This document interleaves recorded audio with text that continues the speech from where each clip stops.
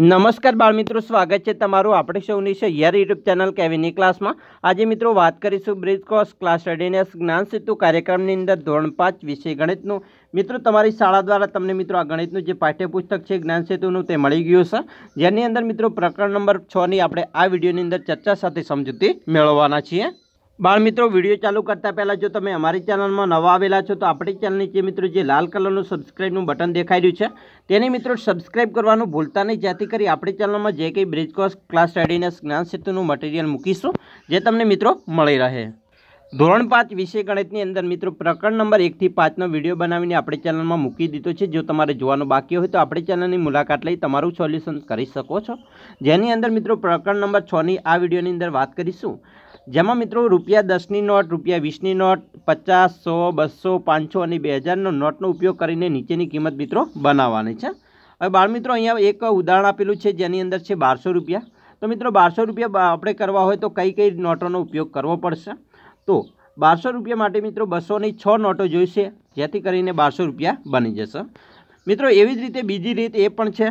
કે પાંચસોની બે નોટ એટલે હજાર રૂપિયા અને બસોની એક નોટ કરશો એટલે મિત્રો બારસો રૂપિયા થઈ જશે.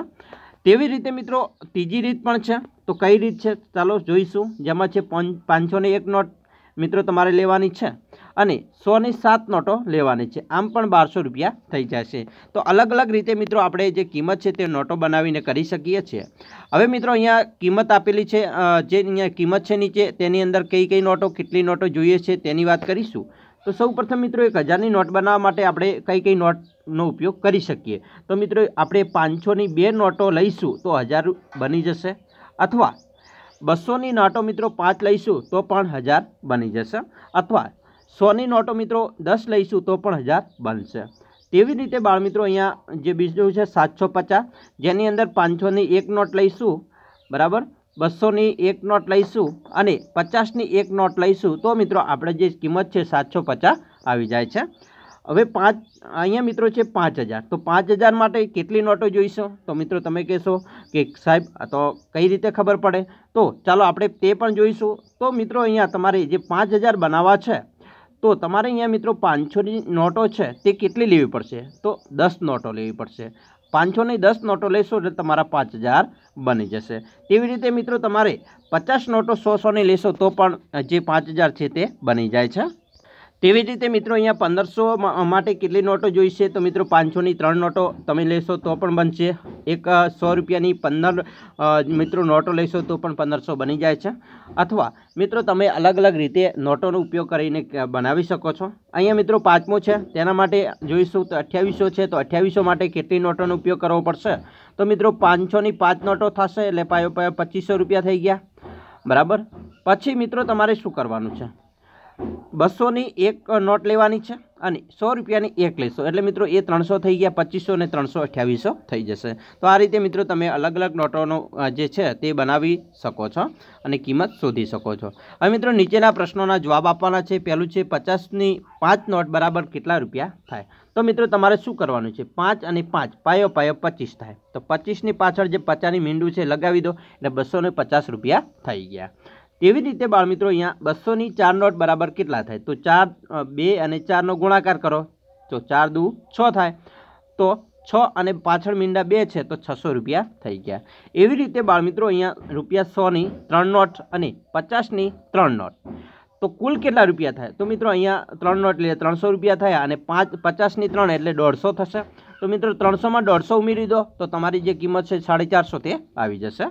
તેવી જ રીતે મિત્રો અહીંયા ચોથો પ્રશ્ન તમારો છે. વીસની દસ નોટ અને પાંચસોની એક નોટ બરાબર કેટલા રૂપિયા થાય? તો મિત્રો વીસની દસ નોટ છે તો તમારે અહીંયા કેટલા થશે? બસો રૂપિયા થશે અને પાંચસોની એક એટલે મિત્રો સાતસો રૂપિયા થઈ જશે. પાંચમું છે મિત્રો દસની કેટલી નોટો બરાબર એકસો વીસ રૂપિયા થશે. તો બાળ મિત્રો તમારે અહીંયા જે છે તે એકસો વીસ રૂપિયા બનાવવા માટે તમારે દસની બાર નોટો જોઈ છે. તો એવી રીતે મિત્રો, જો લોખંડના ભંગારનો ભાવ રૂપિયા ત્રેવીસ પ્રતિ એક કિલોગ્રામ અને બત્રીસ કિલોગ્રામ લોખંડનો કેટલા કેટલા રૂપિયા મળે? તો અહીંયા મિત્રો તમારે શું કરવાનું છે? તો ત્રેવીસ ગુણ્યા બત્રીસ કરશો એટલે બાળમિત્રો, જે તમારો જવાબ છે તે આવી જશે. જેની અંદર બીજી રીત તમને આપેલી છે. તો મિત્રો, તમને ગુણાકાર તો આવડતા જ હશે. જો ગુણાકાર ના આવડતો હોય તો મિત્રો, આપણે અહીંયા શીખી લઈશું. બત્રીસ ઉપર છે, અહીંયા ત્રેવીસ છે. હવે તેના માટે મિત્રો એકમ દશકની પહેલી શૂન મૂકવી પડે છે. પછી આ બાજુથી ભાગ ચલાવવો પડે છે. તો કે બે દુ ચાર થશે અને બે તરી છ થાય. ત્રણ દુ છ અને ત્રણ તરી નવ. પછી મિત્રો આનો સરવાળો તમારે કરી દેવાનો છે. જેની અંદર બાળમિત્રો અહીંયા છના છ આવશે. ચારને નવ કેટલા થશે? તો મિત્રો તમે કહેશો તેર, તેરનો તગડો વધી એક અને છ ને એક સાત. તો આપણો જે જવાબ છે તે સાતસો છત્રીસ રૂપિયા આવી જશે.